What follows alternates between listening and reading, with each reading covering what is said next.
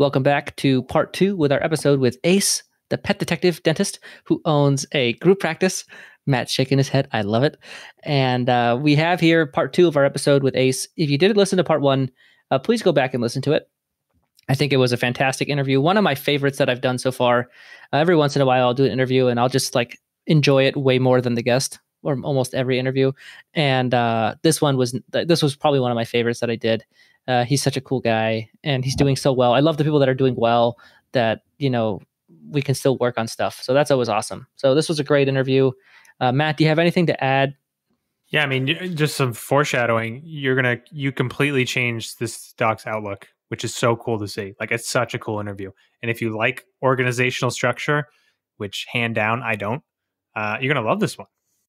Yeah, well, I, like I think for me, like you know, if you have a group practice, you need this. You need to build infrastructure in place that doesn't rely on you to handle the leadership. So like we talk about leadership on the show, but we don't talk about like leadership infrastructure.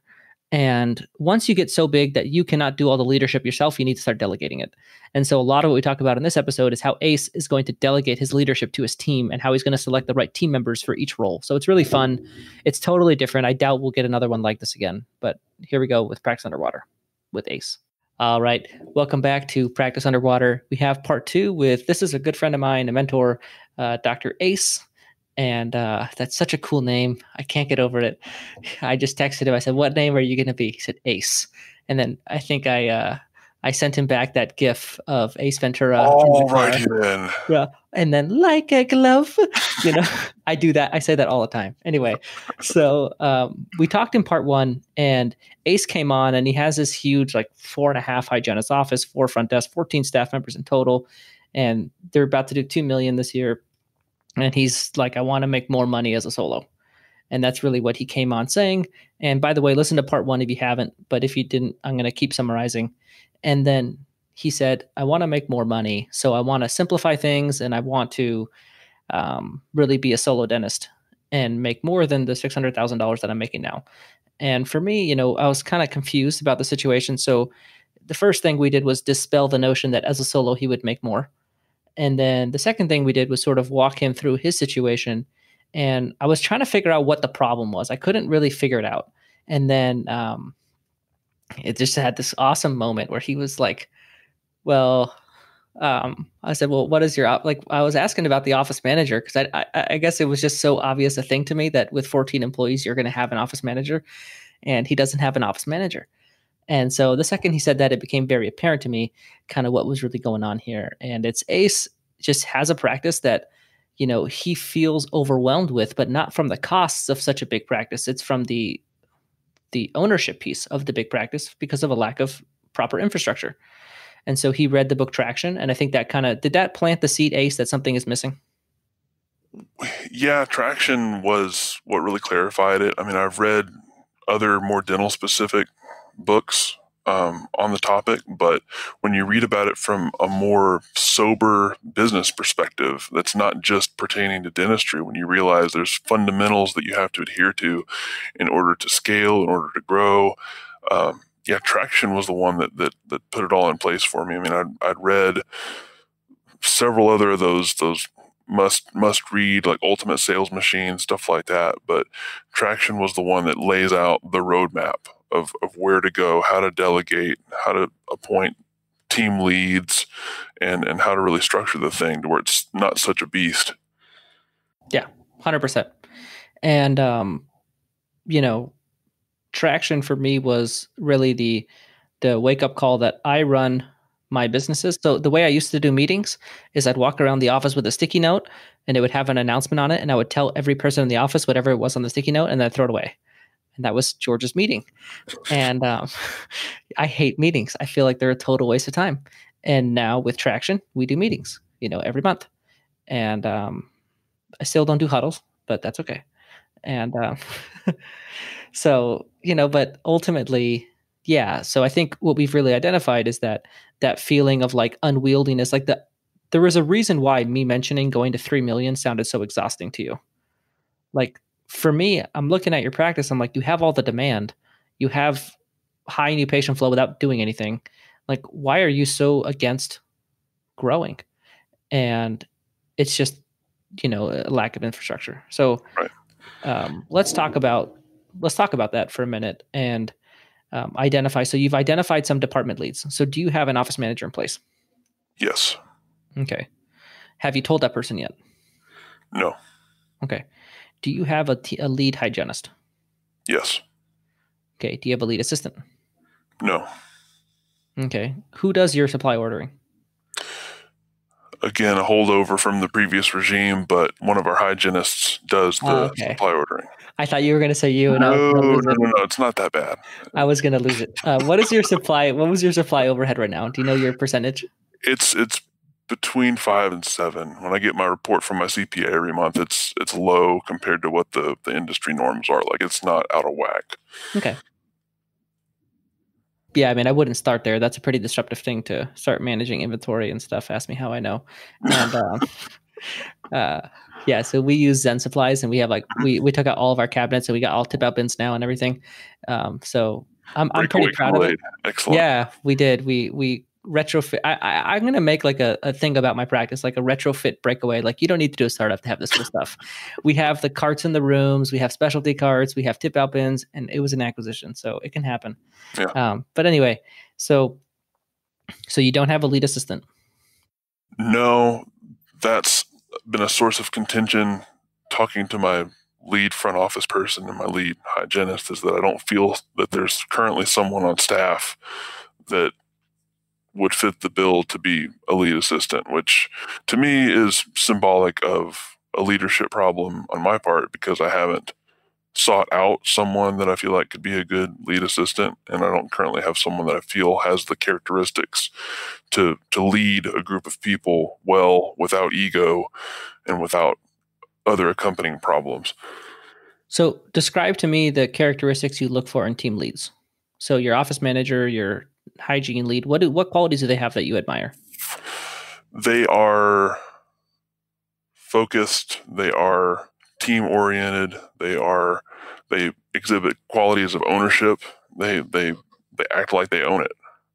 They they have um they they're self starters and they are mature and magnanimous when acting with around other people. They don't they don't parade around any bit of control that they have. They they act in the best interest of the office and they don't they don't have petty interactions with others. So if one of your hygienist was reappointments rates was low Mhm. and you wanted another hygienist to go talk to that person about it, is that the person you appointed? Yes. Okay, good.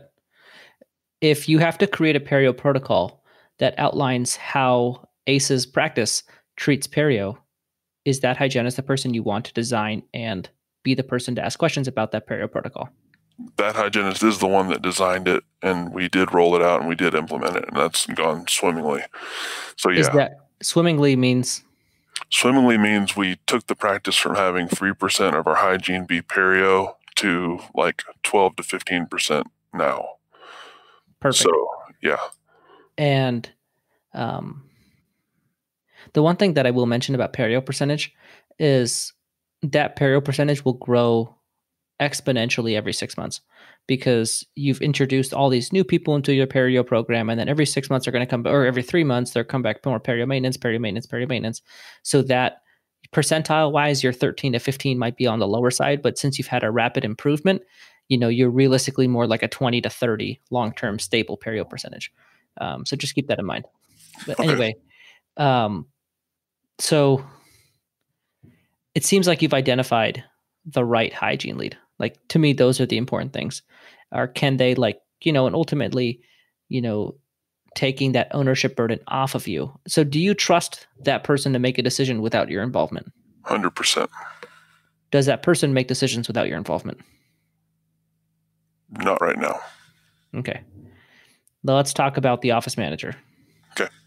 What is their current role in the practice? Treatment coordinator.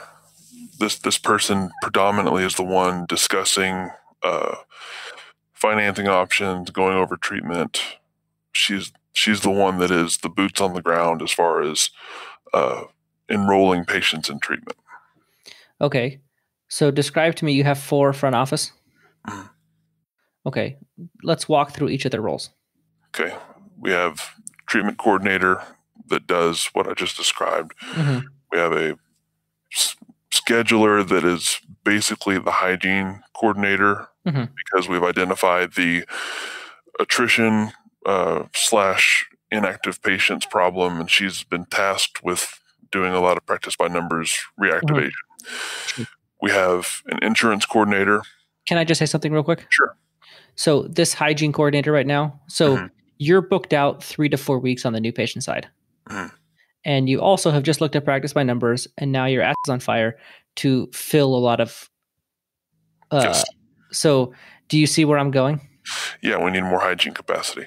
So, yes. And you doing the overdue hygiene calls right now is just making that problem worse. Yeah.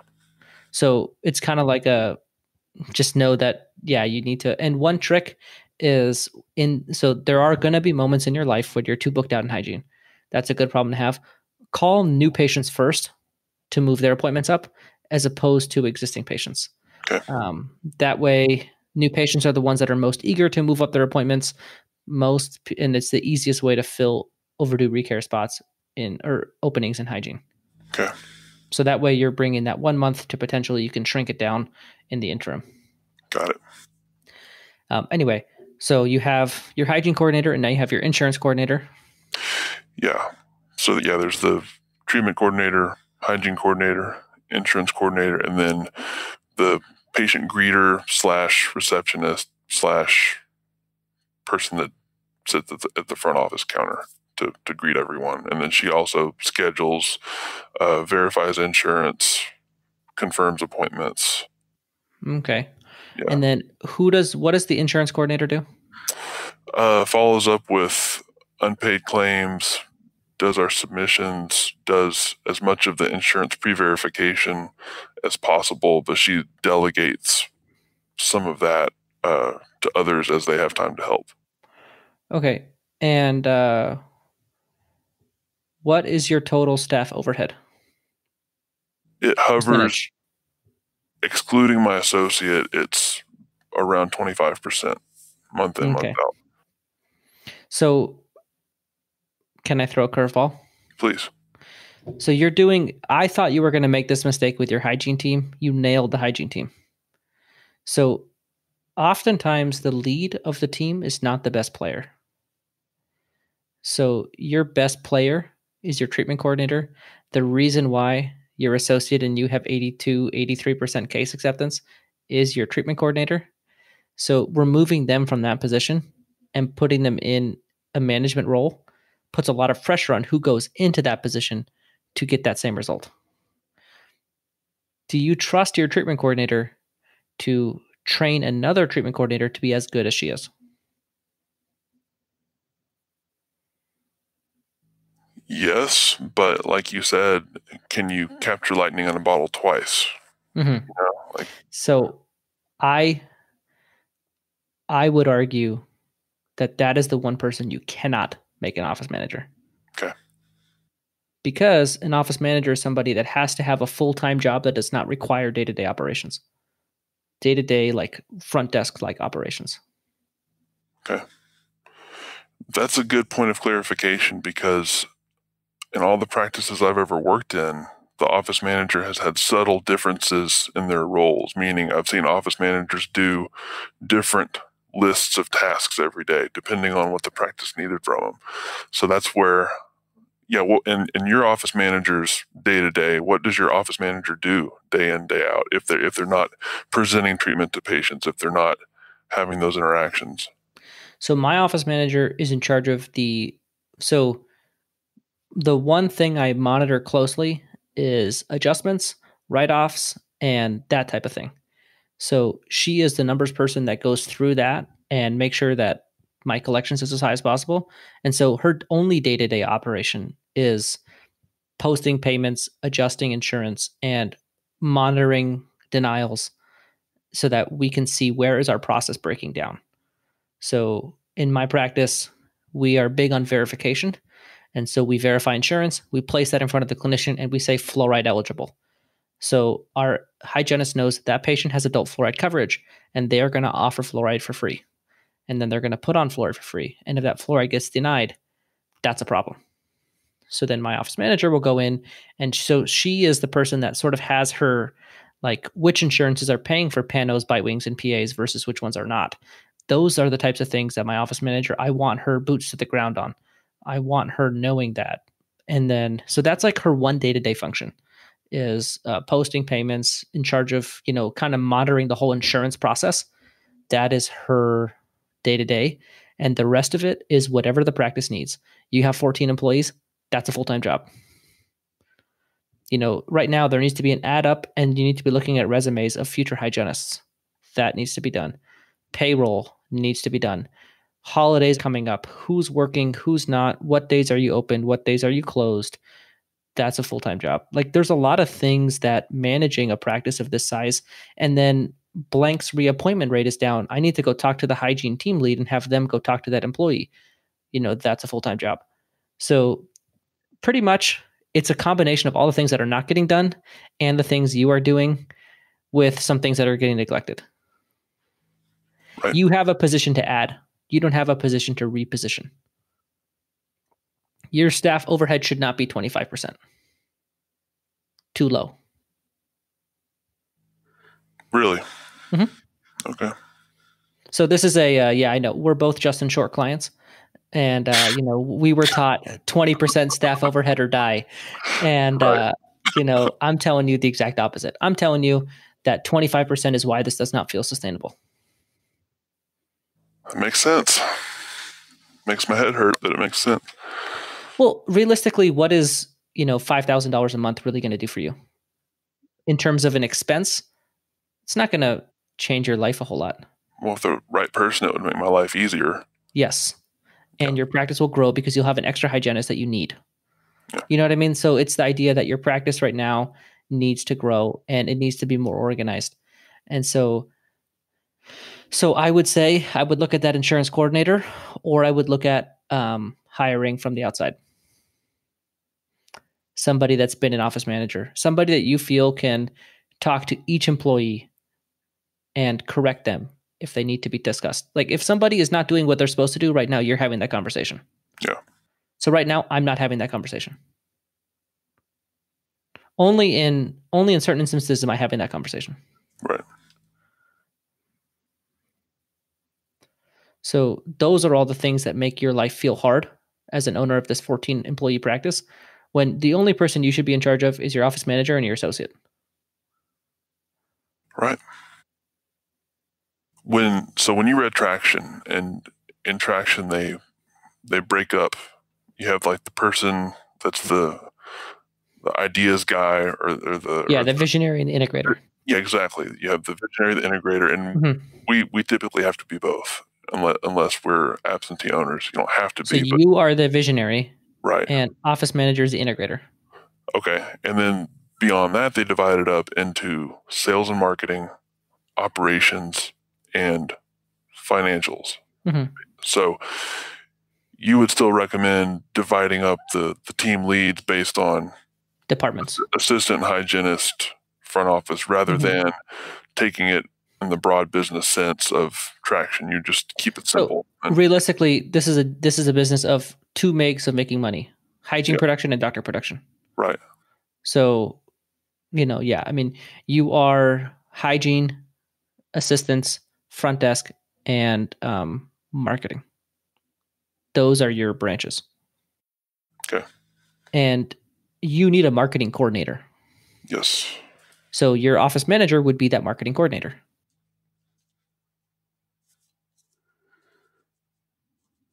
Makes sense.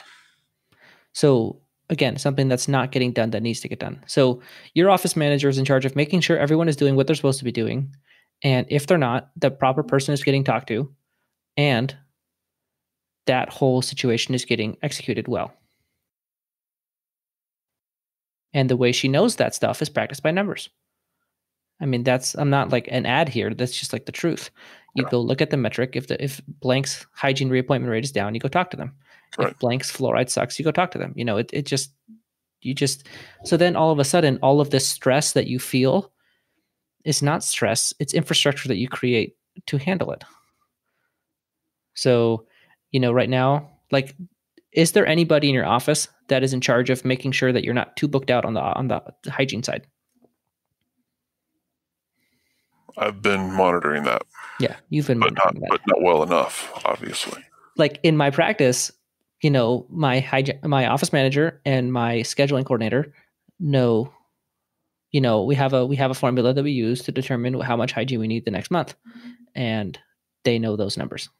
And they make those decisions without me because if I make those decisions, I over open hygiene because I want to grow as fast as possible and they don't like that. So Right. um, Well, it's like you said before, you'd rather have a hygienist see three patients a day because that at least breaks even and that allows you to treatment plan on those patients that come in rather than being booked out too far and not having enough hygiene coverage.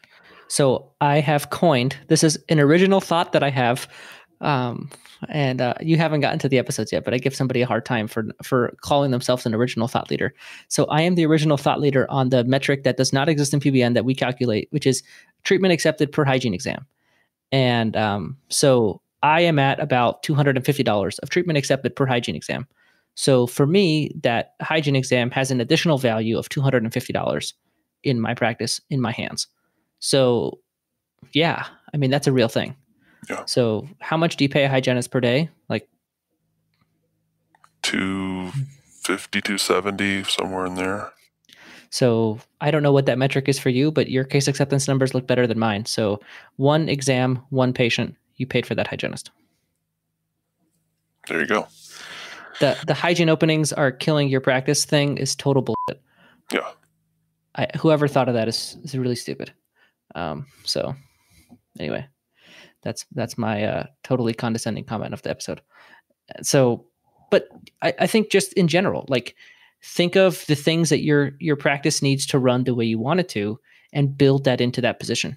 So opening up a new position gives you the freedom to design it the way you want to, and bring somebody in and say, "Here, do this thing that I've designed perfectly for my practice." It's a beautiful thing. Did you hire your office manager from without, or was it someone that you inherited when you bought the practice? So I inherited somebody called the office manager who was an insurance coordinator. So it has been, and this is very much an active process of, you know, working with that person and coaching them. And, you know, at this point, you know, just letting them grow into that role of being an office manager and getting out of the way. Okay. But that's contingent upon having the right person in place to do Correct. that. And, you know, again, I would look, so it's really hard because, you know, if you are going to hire somebody from the outside, which is is a bold move because you're bringing in like this whole unknown entity. And so the way I would position that, let's just say you decide to do it because you're probably worried about how my whole team would react. Yeah. You would just say, I'm overwhelmed. And I just, I feel like we have a great cohesion as a unit. We don't have anybody extra. We'd need to hire somebody. And so I want to hire somebody who's done this before because I've never done this. And so I want you guys to all be involved in the hiring process. hmm I would want your whole team to be involved on hiring an office manager. I would not want you to hire an office manager and then just introduce them to the team because then the team didn't pick who is leading them. Having your team pick who leads will go a long way for the effectiveness of the leader. That's a tough nut to crack because it would be the easiest to sort of promote someone from within. It would be the easiest thing, but you have to have the right person, the right qualifications, the right viewpoint. So I'm going to push back on that one. Okay. Grass is greener on the other side. I'm telling you that you need to hire from the outside. And you're telling me, well, it'd be easier if I could just promote. Yeah. But so in my practice, I kind of promoted because they were called the office manager, but they weren't. And I brought them into an office manager role. Now you have two people that used to be teammates who are now telling each other what to do. Yeah. That's not easy. Okay. So you have a different challenge, neither easier nor harder.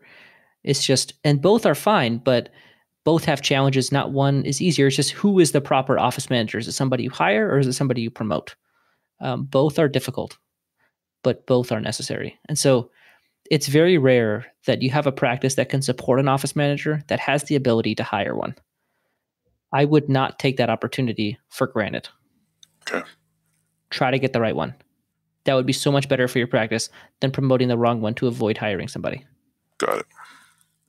So, hiring somebody is one option, promoting is another. Do you feel like there's anybody in your team that could that could be promoted into that position?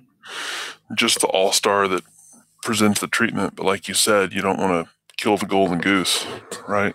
You know? Yeah, that's a super super well performing position right now in your practice. Yeah. Um, that would be like taking your best hygienist and saying, "All right, you are going to be in a totally non-clinical position, Yeah. and uh, now you you train a new hygienist on how to be as good as you." Right. Fluoride perio go down. Right. So what I was going to say was, you hired an associate and you introduced them to your team as somebody superior to the team. Right? They're not like the owner, but they're you know what they say goes in certain situations, and you know that that's part of it. It would be very similar to that with an office manager. So we're hiring an office manager, somebody to lead the team, and they're kind of brought in at that level of almost an associate. You know, so um, That happens in every other business. Like every Yeah. other business has hierarchies, middle management, everything else. This should be no different. And so you just need to, your team needs to be on board for why, right? And that treatment coordinator that's an all star can be front office lead, right? That is a worthy title. And they are the person in charge of, you know, the the day to day and reporting back to the office manager on all front office related things. But they are not the office manager. So they are not doing anything different on the day to day basis. But those qualities that you like about that person can still be and that person can still be recognized as a superior and like all the things that you're wanting to promote that person for so you don't have to um, totally dismiss them as just like everybody else but making them the office manager like we've discussed would be uh, would be detrimental to the case acceptance of your practice Right. I agree. okay so now like the idea of split shifting and changing everybody's hours and doing all this stuff that makes your head hurt right now right Right now, but I know that that's the way to, to soldier on forward. Like you have to do that. and that's the office manager's job Okay. right their your job is to tell them we're split shifting figure it out and it's their job to be the integrator and figure it out so that's where i'm not saying do that tomorrow or the first thing you give your office manager to do but like that's the that's the benefit that you can have as an office manager or having an office manager is going up to them and saying this is what i want done as the visionary i want to add a hygienist and a doctor and this and that now make it happen you know Got it. Okay. So now two things I want to talk about that we haven't yet. So assistance What's going on with your assistance man?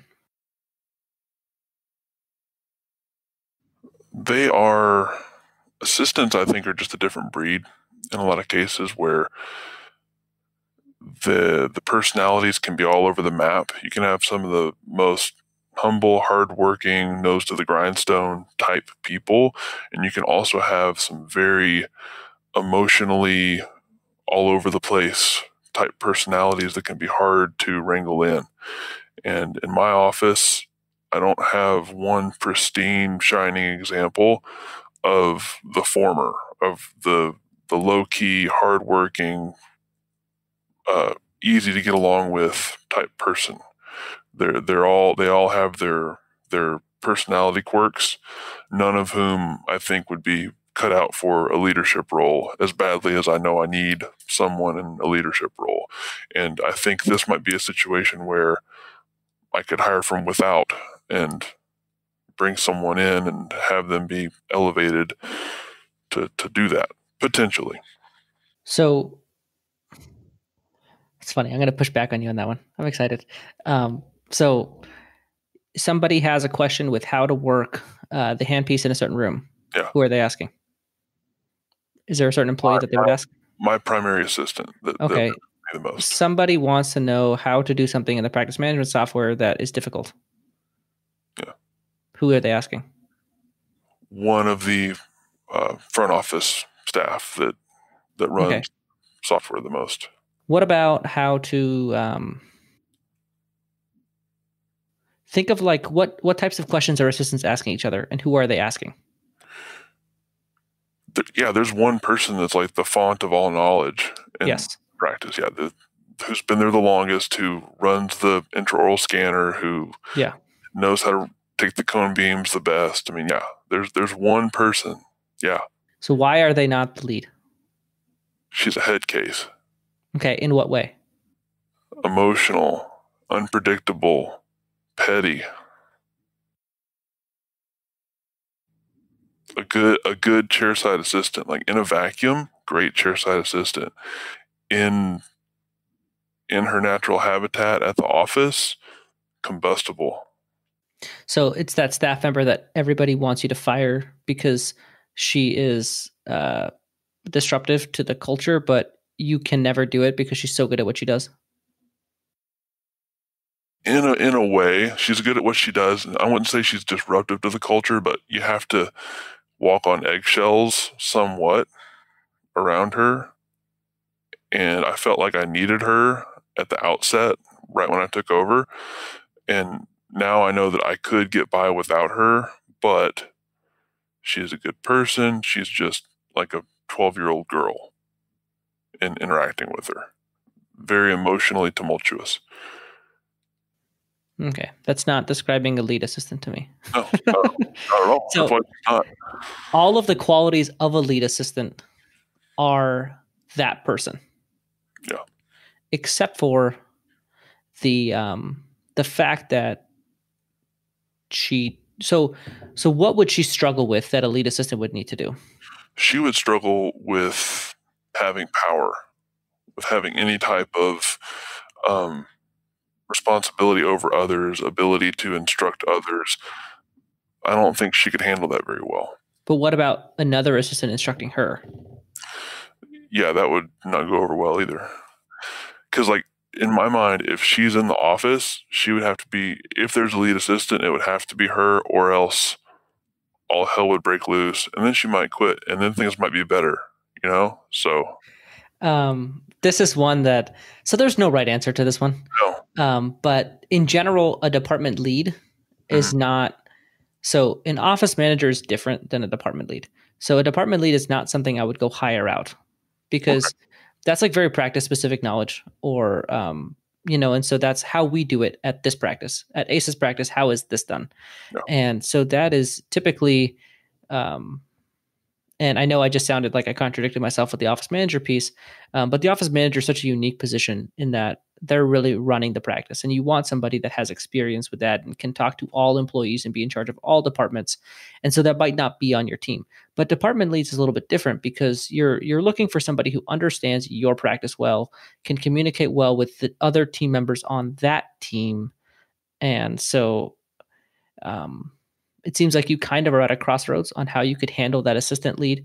You either give it to the assistant that it's, and I agree that it would be difficult for that assistant to receive leadership from another assistant, no matter who that is, because they feel like they're the best. Yep.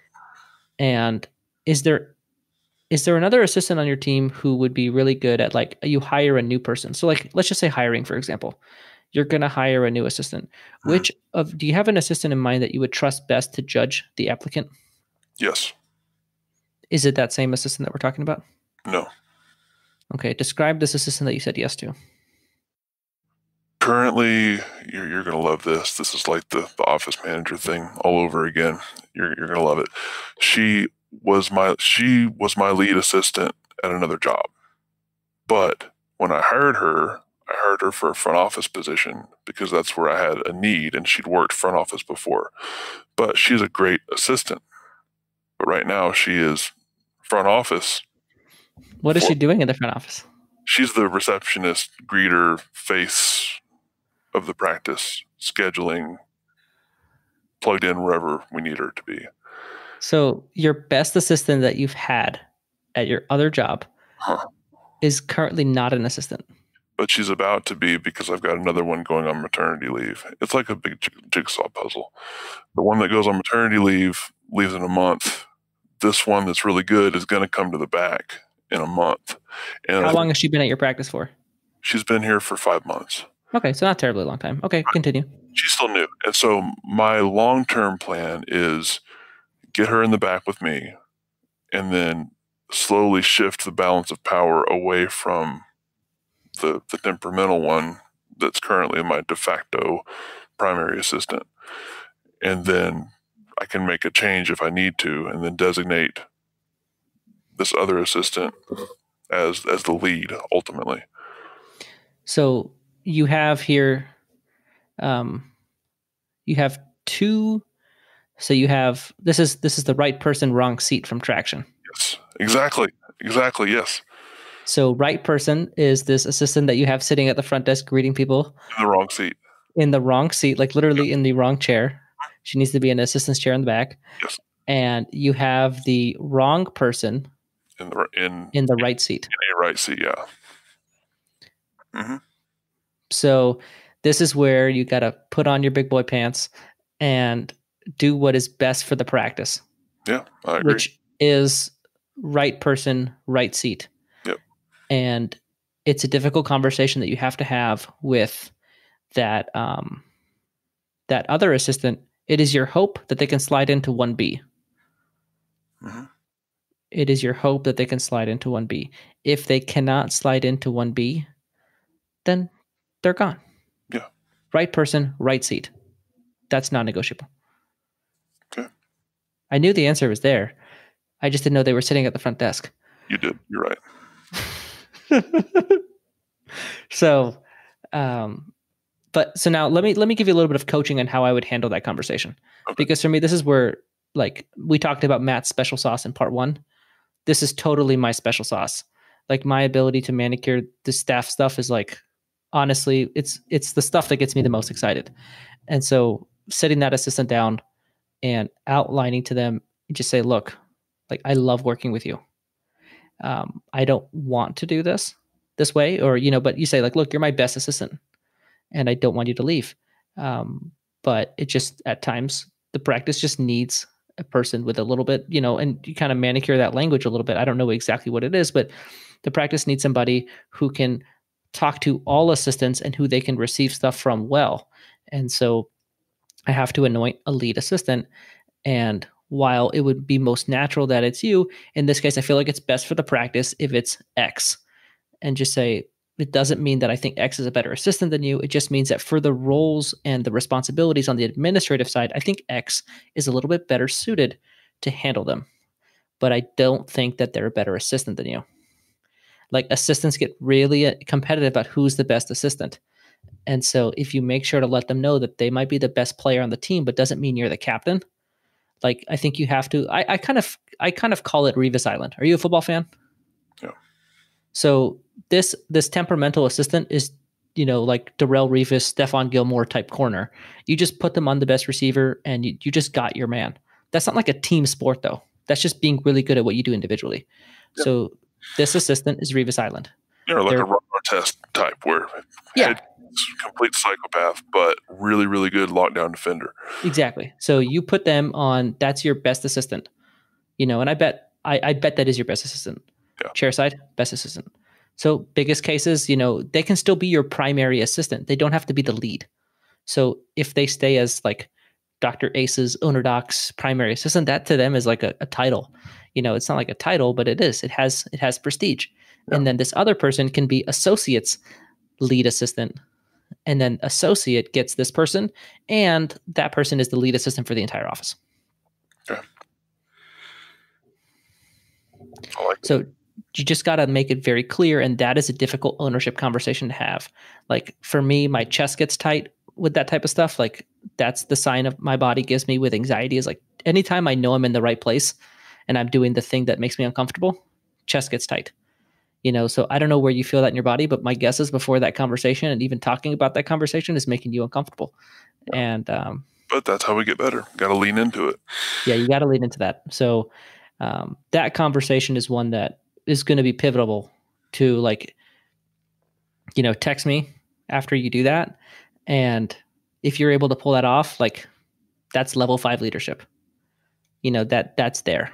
Good to That's great. tough. Yeah, that that that's that's what makes that's the pivotal moment where your practice takes off because you have the right people in the right seats. You got your hygiene lead, you got your front office lead, you got your assistant lead, and you got your office manager. Now you're ready to go. So like your departments need to be set up in a way that they run their departments and they report problems back to the office manager. Your office manager is the one that runs your meetings. You do not run meetings. That sounds good. Right? Now it's sounding nice. Before this was sounding unwielding. you see what I mean? Like so you're at a practice. So let let's kind of like we're kind of wrapping up here, but you know, let's let's take a step back here and, and think about it. You know, you came in with this issue of not being able to run a practice of the size that you have it. And, you know, now we've put one hire in place and repurposing your additional staff. And we've set up an infrastructure where the practice can run without you. Once it can run without you, it doesn't need you to be there all the time. Like you're talking about the necessity to treatment plan for associates. Like that's the furthest thing from your problem. Your problem is uh, the practice. Like you can leave for four weeks and nobody cares. Yeah. Like uh, Paul Etchison is somebody that I look up to a lot, Yep. and um, you know he has his leadership team in his practice, and they kind of joke around with him like we're like they just do meetings without him now because he's like always late and they don't care. They don't need him anymore. And um, he's like, I built this whole thing. And he doesn't even have to work for a while. Like he's yeah, he's been out for a minute with an injury and Yeah. it didn't even matter. And the practice is chugging and he still deposits money from his business checking to his personal checking. And, you know, it just happens well. And, you know, that's what you need. Mhm. Um, you know, you don't need to reinvent the associateship treatment planning philosophy system that's going to make you millions of dollars. You know, you just need to inf- get some infrastructure in your practice so that it can run itself, um, so that you can afford to get as big as you need to be. Well, it's reassuring to hear that because you, you it's like you said earlier, the grass is always greener. You, you hear what someone else has built or the way someone else has structured their practice, and you think, oh, that sounds way easier, better, faster, more desirable. But you said earlier, like, hey, it's the practice you bought, it's the practice I bought. Like, when you acquire practice, you acquire that foundation, and you'd be Yeah. idiotic to to do something that flies in the face of that. So I can tell you every solo has moments where they're jealous of a group practice owner. You know, when you like for me and you, like when I get stuck with like a ten thousand dollar bill, I don't the thing that does not pop in my head is I have to produce ten thousand dollars to pay this. Does that pop into your head? No, Yeah. All the solo dentists listening right now are like, fuck you, dude. That was just 10 crowns that I just had to prep. exactly. Yeah. Yeah. Probably should bleep out that F word. But, you know, um, yeah, we'll see. So, but the reality is that like grass is always greener on this side. You bought a practice that is a group practice. You got 4,000 patients. Like you're, you are twice as big as the largest solo practice ever. You know, so like you need to own that. Like I am a group practice. I'm going to be the best version of my practice, not make this Matt Garino's office. This is not Matt Garino's office. Right. No, Well- so I think we've solved the identity crisis. so how do you feel, man? I feel a whole lot better, a whole lot more focused. Um, I've actually got a meeting with the people that I have designated to be on the leadership team tomorrow, and this this will give me some ammunition to go in with, for sure. Good. And so you did not tell that team treatment coordinator that they're the ops manager, right? No, not yet. No, and I think the only thing I would look at is that insurance coordinator, and um, only if they're like an exceptional person. Uh, but I would really look at hiring an office manager. That's what I'll do. Honestly, maybe even somebody, and this could be a little crazy, but maybe even somebody without dental experience. Okay. Well, because based on what you told me that needed to be in the in the job description, very little of that was dental specific. I mean, if they have medical experience with insurance issues, juggling all that, it doesn't. Ha- I mean, you can learn the dental skills. Yeah. You can. You, it's the people skills that you need in your practice.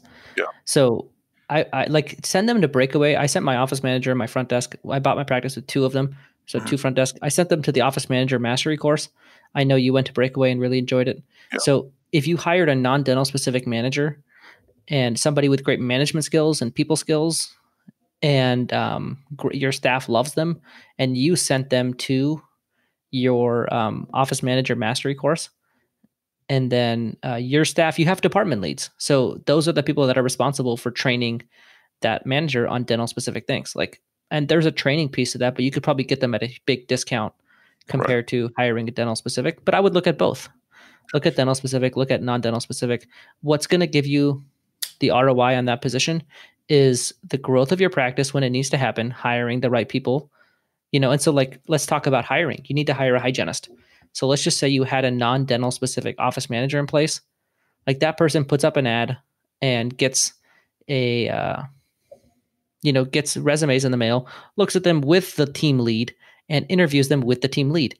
The hygiene lead is looking at hygiene specific things and the office manager is looking at employee conflict specific things. Like you got a two-headed snake that's going to make really good hires. I love it.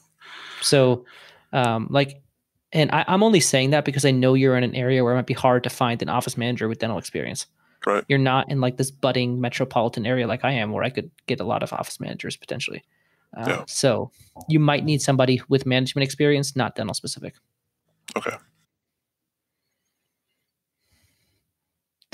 Okay, so what is your review? Fan of Practice Underwater? Oh, for sure. It's it's amazing. I mean that that completely changed my outlook. Hearing the getting on the the George psychiatrist couch like that helped immensely. I love doing it. It's awesome. Um, yeah. So I, I just I love I, I, I couldn't take you seriously for a minute when you were talking about the solo dentist thing. I was like, is this guy serious, dude? Like, is he really trying? Like, yeah, like you guys did 17k today. There's no way you're doing 17k without uh without two dentists. Well, you become a prisoner of the moment, and you you hear about other other ways of doing it, and other uh, every other people's problems seem better than your own problems sometimes. Yeah. But no, you're you're right. I just needed to have my my head shaken a little bit. I will brag for a minute. This month I did have two 17k days as a solo, but um, that does not happen ever.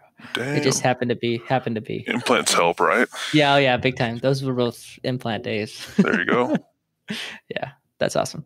All right, well, I really enjoyed this interview, Ace, and this was a cool one for our audience because this is probably not one they're going to see again or very often. You know, somebody with, and I think that goes back to the ladder like mentality that we talk about, where like it'll be better when, it'll be better when, and I can imagine you walked into practice ownership saying, if I was doing two million dollars a year, making six hundred k, working four days a week, that'll be better when. Yeah. And you came on here not feeling that way. Right, but it's it's all about perspective and being grateful for the journey, like being yeah. grateful for where you are and understand that it's it's the the trip, not not the destination. Cool, and I love this. I'm going to chat with you a little bit off air, but I really enjoyed this, man. It was great having you on, Ace. Cool, thanks, George. I hope you guys enjoyed the interview as much as I did. I had a lot of fun recording it and uh, Matt's got some good stuff for us. You know, this isn't his this isn't his area of, and he'll he'll be the first one to say it. This is totally my area. Um, but Matt, what were your thoughts on that? Well, it was extremely valuable episode for our listeners. Sure, you know, as little our listeners, not so much valuable for me personally, but that's fine. You know, we need this kind of thing. This was this is a needed practice underwater episode, like you said, not something we'll probably ever have again. So super cool to have. You did awesome. Um, we talk a lot about special sauce on here. You know, between you and I and and others you your special sauce for this one shone through big time. Um, when you went through that conversation he was going to have with the assistant, why she was like a great assistant, but not the head assistant for these reasons. Like there's the words you used and like how you explained it. Like I was I was going into it thinking like, oh, she's like really gonna hate this and like not respond well. And then like the sample frame of like how you framed it, it's like, oh, that makes total sense. I'm like, she's totally gonna get that. So like I just wanted to point that out. Like it was incredible. Um, and we talk a lot about um, you know, the uncomfortable conversation thing. And like that's that's you. Like you crush those. Yeah, and I think, you know, it's it's nice to acknowledge, you know, um yeah, we we talk a lot about, especially in solo episodes, like Matt's Matt's ability to do certain things, and you know, I don't do those things well, and I I own it, and I try to work on them. But like, this is what I do really really well: is I empower my team and like I felt like, and I'm super excited for uh, my hygiene lead. She listens to the show. I'm super excited for her to listen to this episode because um, I'm just really proud of my team. Like I think listening to this episode, not saying Ace's team sucks, they don't, they're great, but you know, just like the work that we've done as a team and the growth like the biggest asset in my practice is the team and it's ultimately you know i mean the the leader of the team which ultimately everything starts and ends with me is the ability to develop them into the roles that they're in and kind of work with them and coach them as they're going through those moments. And the uncomfortable conversations that have to happen you know all of that stuff is so the thing i really enjoy about ownership. Like what's the thing i enjoy the most? It's team member crying in my office because they're struggling with something that i'm trying to get them to do. Like that's so much fun um, and like Matt's I don't laughing. think there's anyone else out there who would say that those words. no, like you know, that's a moment. That's like a growing moment with you and that team member, and you're working through something together. Like, oh gosh, I love that. You know, and I love the coaching moments. And like, they don't have to be crying, right? Like, crying is an exaggerated situation, but like, they're like, hey, I'm really struggling with this, and you know, like a lot of growth with like you know, each one of my employees in certain ways has really grown and to be there to facilitate that growth with them and coaching them and helping them become you know the best version of themselves is the thing that i enjoyed the most about practice ownership. And um you know so this was very much a fun episode for me. And i think that conversation with the assistant like whew, like that one i don't want to have either. Like that that's a conversation you know? And um I, you know you got to wordsmith it the right way definitely. You got to always make them feel valued and never want it to feel like a demotion. And you know that's why it was important that she stays with ace as his primary assistant um, but at the same time, you have to put the right person in the wrong seat. And um, it's funny because I was like, I feel like your assistant lead is somewhere in the office, and he's like, Yeah, they're at the front desk, and I was like, What? like that makes no sense. But um, you know, it was quite figuratively right person, wrong seat. Like it was kind of funny. But yeah. Um, and I want to talk about too how you made another brilliant point about the treatment coordinator that she's so good and extraordinary at her job that making her an OM is probably not the right move, even though she's the most rock star employee you mentioned the Darrelle Revis uh, Gilmore comment, which was, you know, of course, a play to my heart being a diehard Patriots fan. So thank you for that. I totally got it. Um, but I had another analogy. Like it's like a, if anyone's a baseball fan out there, and you have this like lefty reliever, and he's just amazing against lefties, like crushes them, gets them out every time. But then the closer role opens up, and you need someone to close games. And then do you put that lefty out there? He's an amazing relief pitcher but then his special sauce is that like getting lefties out in a tough seventh, eighth inning. That maybe you don't want to make him that closer. Maybe you want to put someone else in.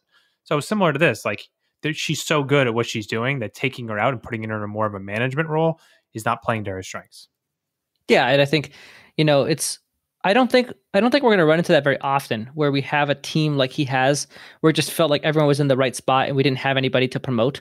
Normally you'll have somebody to promote, but in his case it just felt like everyone was in the right spot and he wanted to take like the most essential team member he has and like take them out of that role that they really shine in. And um you know, like she's a great she'll be a great front desk lead and um you know, I think like your star employees like, you know, a lot of times your lead if they have good skills uh dealing with other employees. But you know your your ability to like really recognize who is the right person for each spot is is going to make or break your ability to really have the type of leadership structure that's powerful. Yeah i mean I, am just so proud of this guy. Like I, I just like i know how much he's invested in this practice both like monetarily and time wise and thought wise like how much he cares. And to like now be armed with this knowledge from you and that it's new outlook it's like the sky's the limit. Like this is so cool. I'm so excited for him. You know and like I, I think I took him through it in the episode, but like I think right when right when we did the episode, we had just hired a hygienist, and it was the first time that we kind of tried out our new infrastructure where my office manager and hygiene lead and hygiene team like they all did it without me, you know. And once your team starts being able to make major decisions without you, that's when the practice takes off because they have a system for recognizing it. Like in our practice, we have a way of recognizing when we need to add or take away hygiene days. Like we have that system in place, and it doesn't involve me. And then we have a way of you know then either opening days or like we have that's all done without me and i'm not involved in that process. So it actually happens. But if it's reliable on you the owner who's also a dentist who's working and doing other things like it's not going to happen. You're going to sit there for months being overbooked in hygiene like he is. And um, you know now he's like pushing the reactivation hard but he's also way booked out in hygiene. So it's like you know not you know he he needs to have the infrastructure in place to make the proper ownership decisions for him and not have him do it Th- that was so funny that you that your staff is just like, no, we're doing this. Like you're gonna add hygiene too too fast and too quick. Like we we got this. Yeah, they took it out of my hands. Um, you know, because yeah, that's my ta- like I'm a super aggressive person, and um, the aggressive things that affect them uh, I think I I recognized my weakness in you know my maybe I'm too aggressive, and so now we have a formula that we've all agreed upon, and they execute it without my involvement, because that's an area that I tend to over overdo. I just love that. I don't know why. It makes me laugh. no, they all know. Like if, if we leave it up to George, he's going to overdo hygiene openings, yeah. you know, and we don't do that. Yeah, anymore. I mean, so this was cool. Like this isn't like we get a lot of new owners on here. This is one who's you know been for what two years about uh, um, a year more than me, so like two and a half. Yeah, probably. but he's so like advanced in his development. You know, he's like his team is already pretty solid. His numbers are good. Like he's just taking like steps like five to seven. You know, he's it's cool. Like I like how we get a lot of different um trajectories. Spectrum. Yeah, spectrum. That's it. Uh, of ownership here. This is like a cool one. We haven't seen this one yet. Well, and I think like I want to make a point, and maybe this isn't like super nice to him, but the guy's got four thousand patients doing two million dollars a year. Like you know, that's yeah. I I didn't want to say it, so thanks for saying it. Yeah, I mean, like that is a lot of operational inefficiency, and a lot of it has to do with a lack of infrastructure. Um, you know, Matt's practice is at like a thousand dollars a patient. Mine's at like eight hundred dollars a patient. So like maybe I'm at more like close to nine hundred. But yeah, I mean, like my practice isn't that much smaller than his in collections, but we have a half as many patients. You know, so it's. I mean, we, I just crossed fourteen hundred patients. Yeah, you know, so the fact that he has this many um, breeds to that just like if the infrastructure was in place, then they would be able to grow appropriately. Like they're at capacity right now. Like they can't go anymore, but they have so many patients. You know, so like stuff needs to happen. Like decisions need to be made, people need to be added, hours need to be changed, like stuff needs to go. And there needs to be a people in place to execute on it. Like he has no integration. And we talk about traction a lot, but like that's a book you should read if this is a topic that interests you. Yeah, and I hope um, people are interested in the group practice model. Like have enjoyed these these two episodes, these two interviews with him because um, it's a really cool window into it. And I think a lot of like what you guys talk about is not something that's like you really get to have experience with until you're actually in it. So yeah, there's no way I would have known that I'd have these problems until I had these problems. yeah. So like that's why it's so valuable hearing about this, so you can like arm yourself with a little bit of that knowledge going into it. Um, but yeah, this I mean this wasn't my episode, but you know I just still enjoyed it. I think uh, you know um, designing a leadership team is extremely high level thinking and it's you know getting it to be like one of the best offices out there. This is yeah. a big part and, of it. you know he could easily go to 3 million with the proper infrastructure. Like he has a demand for it for sure. He just yeah. needs to execute operationally. I'm excited for him. Yeah me too. All right i hope you guys enjoyed this. Uh, this was a, uh, again probably my favorite mm, i don't know if i'd say yeah it was my favorite one to do. The cool guy cool practice totally up my alley. I really had fun so I hope you guys enjoyed it too. Uh, any questions? We're here available via email and our Facebook group. So, uh, and I'm on Instagram. So give me yeah, a follow. he is killing it on Instagram. All right. See you guys next time. Thanks for listening to another episode of Practice Underwater. We'll see you guys next week. If you're interested in one on one coaching with either Dr. George Hariri or Dr. Matt Garino, our contact emails are in the show notes. And if you're interested in being on Practice Underwater as a guest, where we could look at your practice anonymously, you can go ahead and contact the email in the show notes and follow those directions to get on the show. Thanks, and we'll see you guys next week on Practice Underwater.